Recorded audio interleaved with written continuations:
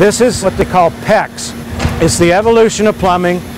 And it's a spun polyurethane. The beauty of this product for us is the fact that it's flexible, it's easy to work with, unlike old metal piping that used to be used. So what that means is less labor. Also, if there's any repairs to be made, they're a lot easier to do. The old metal piping used to uh, get corrosion, rust would build up, things like that. You do not have that with these. Also, the temperature factors on these, it's freeze proof.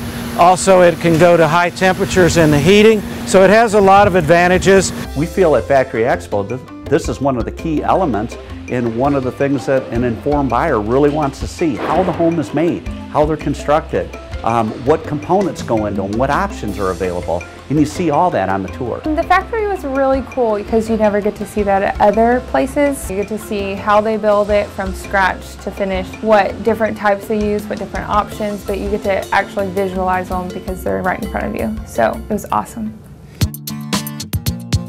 Call the number on the screen and let one of our housing consultants take you on a factory tour and we'll inform you to show you how we can get you into the home of your dreams.